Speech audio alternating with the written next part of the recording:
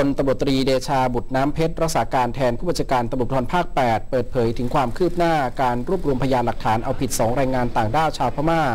ที่ตกเป็นผู้ต้องหาในคดีข่มขืน 2 นักท่องเที่ยวชาวอังกฤษที่เกาะเต่า จังหวัดสุราษฎร์ธานี ล่าสุดผลการตรวจดีเอ2ใน 3 ของผู้ต้องสงสัยตรงกับเชื้ออสุจิในช่องคลอดของนักท่องเที่ยวหญิงสืบเนื่องมาจากเจ้าที่ตำรวจได้คุมตัวแรงงานพม่าจำนวน 2 คน ซึ่งเป็นเด็กเสิร์ฟของบาร์ AC2 และร้านมายา ภายหลังจากตรวจสอบ พบว่ามีกล้องวงจรปิดสามารถจับภาพได้ ขณะเข้ามาซื้อบุหรี่และสุราจากร้านสะดวกซื้อ แล้วนำไปนั่งดื่มกินบนขอนไม้ ซึ่งอยู่ใกล้กับจุดเกิดเหตุ เบื้องต้นทั้งสองสารภาพว่ามีส่วนพัวพันกับคดีนี้จริง เนื่องจากเกิดอารมณ์ทางเพศซึ่งทางพนักงานสอบสวนได้เตรียมขอหมายสารสมุยอนุมัติหมายจับทั้งสองรายภายในวันนี้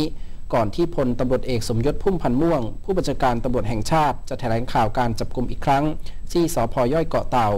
จากนั้นเจ้าที่ตำรวจจะนำตัวผู้ต้องหาทั้งสองคนไปทำแผนประกอบคำรับสารภาพณจุดเกิดเหตุ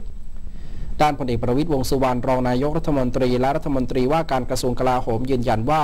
การจับกลุ่มตัวผู้ต้องหาทั้งสองที่ฆ่านักท่องเที่ยวชาวอังกฤษบนเกาะเต่าไม่ต้องมีอะไรสับสน เพราะเจ้าที่ตำรวจดำเนินการตามขั้นตอนทุกอย่าง และสามารถจับผู้ต้องหาได้ชัดเจนตามพยานหลักฐาน จึงขอให้มั่นใจว่าไม่ใช่การจับแพะอย่างแน่นอน